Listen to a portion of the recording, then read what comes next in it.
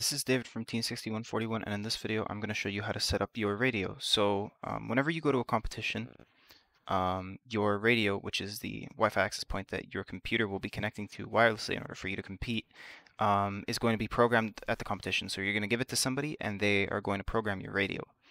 Um, but when you're like at school or with your team and you're testing out uh, your robot code and you're testing out your robot and you're driving around and stuff, you need to set it up yourself. So in this video, I'm going to teach you how to set it up. Um, so at the competition, it's set up differently than when you set it up, so like by yourself. So after you finish a competition every time uh, and you take it back to your school, you're going to have to set it up again.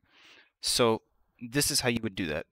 Um, so this is these are the instructions that are on the um, WPILib website.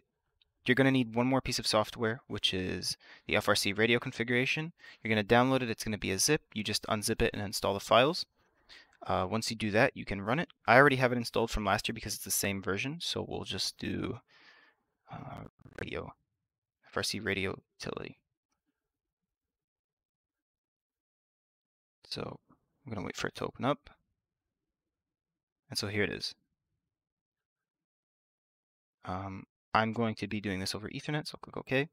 And so then this is uh, the app. So you can see here there are some instructions. Um, if it doesn't work, then there are some other, obviously this is the website. So what I'm going to do right here is I'm going to say team number 6141, because that's our team number.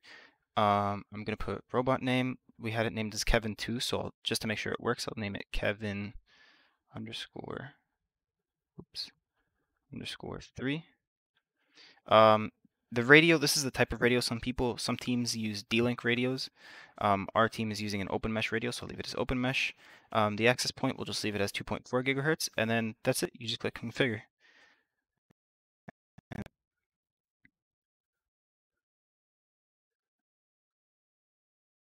One important thing I think I should mention is Uh, you're going to need to have you're going to have to connect your computer or a laptop to the radio and it can, it's going to have to be specifically in this port for it to work. And it should be almost done. So bridge program successfully.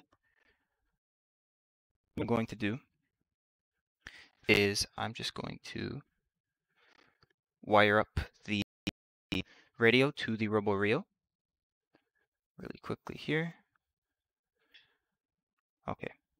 And so now, I'm going to close this. If I go, I don't need to go into driver station because I'm just going to connect to it via Wi-Fi. So if I look at my radio, the Wi-Fi still hasn't been set up because, or the Wi-Fi network isn't up because the orange light isn't solid orange. So I'll just wait for that to happen. Oh, here it is. So as you can see, 6141 Kevin 3.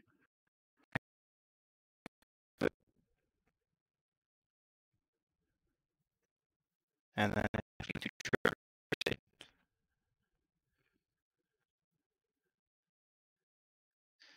I should be able to see the robot connected via Wi-Fi. I'm not connected via any cables or anything. It's just Wi-Fi. We'll see. Communications light should be green. Yeah, and there it is. Communications light green. You can see the image on the Rio and everything working.